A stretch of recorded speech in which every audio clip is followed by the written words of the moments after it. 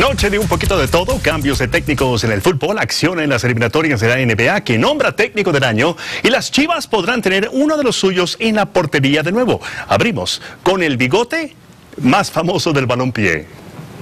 Prepárese para el regreso de Ricardo Lavolpe. El bigotón está negociando con el Atlante, equipo que no ganó un solo partido como local y terminó como el décimo cuarto de la general.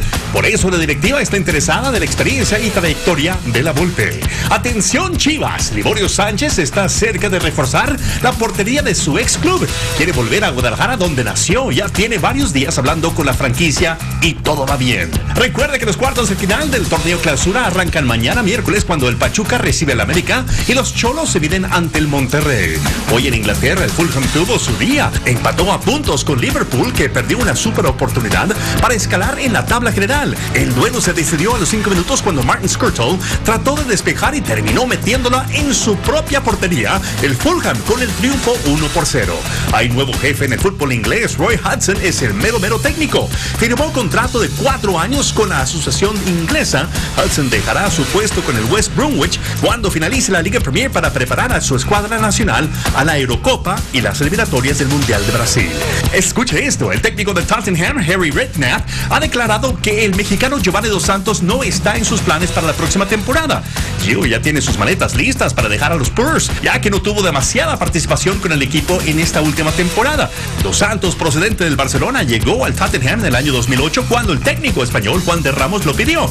Pero al ser despedido, el panorama cambió drásticamente. Solo el ulidense italiano ha demostrado interés en contratarlo. Vamos a las grandes ligas. El cubano Joenny Céspedes firmó un lujoso contrato con los Athletics de Oakland por una suma millonaria. Hoy fue demandado por el agente Edgar Mercedes, que lo sacó de Cuba junto con su familia y lo mantuvo en la República Dominicana. La demanda es por incumplimiento del porcentaje que prometió pagarle la gente por su representación, entrenamiento y manutención para él y su familia.